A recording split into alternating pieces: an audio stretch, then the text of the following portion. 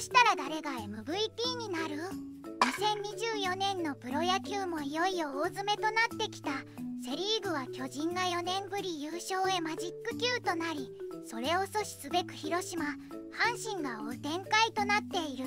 このまま巨人が優勝したとすると今年のシーズン MVP は誰が有力なのだろうか？打撃走塁守備投球を総合的に評価し選手の貢献度を表す指標。をの観点から見ると首位の巨人は野手で吉川が3.5でトップ。岡本が3.4菅野が2.4となっている。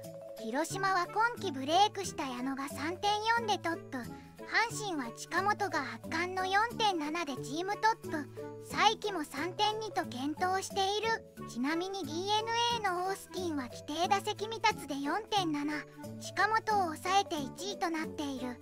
投手では中日高橋宏斗が3.7で1位だ。とはいえプロ野球ではリーグ優勝球団から MVP が選出されることが多いため今年の選出が気になるところだ。守備の貢献度が高い吉川は確かに何度もピンチを救ったけど得点圏打率が低いし今年は投高打定なので野手の選出はないかな。今季はやっぱ菅野だろう。防御率も素晴らしいし勝ち星もついてきた。今年はやっぱり菅野のインパクトが大きかった。